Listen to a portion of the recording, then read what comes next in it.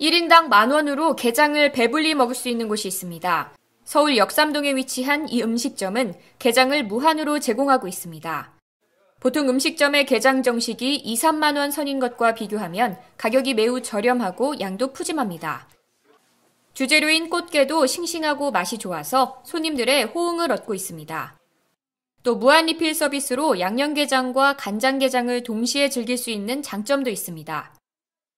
이 음식점의 무한 리필 서비스가 가능한 이유는 바로 대량 구매 덕분입니다. 손님들이 이렇게 무한으로 주고 어, 뭐가 남냐고 그래요. 어? 이거 적자 아니냐고 걔도 비싼데 그래서 예 저희는 대량으로 하기 때문에 남습니다. 이제 그리고 저희가 웃죠. 최근 외식업계에 무한 리필 서비스 전문점이 확산되고 있습니다. 고객들이 원하는 저렴한 가격과 푸짐한 양을 모두 충족시킬 수 있어서 인기입니다. 직장인들은 무한 리필 전문점에서 회식을 하는 경우도 많습니다. 외식업종도 해산물, 샐러드를 비롯해 다양해지고 있습니다. 이곳은 서울 명동에 위치한 남미식 레스토랑입니다. 이곳에서는 쇠고기 스테이크를 무한으로 제공하고 있습니다. 가격은 일반 프랜차이즈 레스토랑의 스테이크 가격과 비슷합니다. 하지만 손님들은 고급 스테이크를 무한으로 즐길 수 있다는 장점 때문에 많이 찾습니다.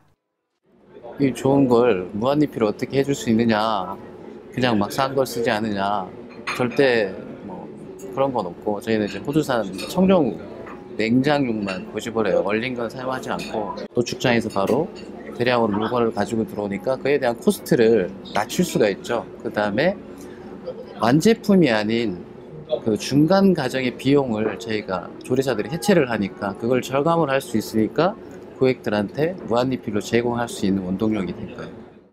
사람들은 무한리필 전문점이 맛과 품질 면에서 부족하다는 인식을 가지고 있습니다. 하지만 최근에는 유통 과정에서의 불필요한 비용을 줄여 맛과 품질에 투자하는 곳이 늘어나고 있습니다. 가격 경쟁력은 이미 확보한 무한리필 전문점이 자체적인 점검을 통해 성공적인 외식 업종으로 발돋움하고 있습니다. FTN 남윤선입니다.